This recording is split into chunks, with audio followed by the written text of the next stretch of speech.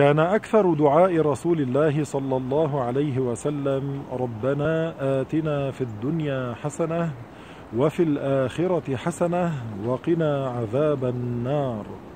ربنا آتنا في الدنيا حسنة معناه عملا صالحا ومعنى وفي الآخرة حسنة الجنة. نسأل الله تعالى أن نكون وإياكم من أهلها.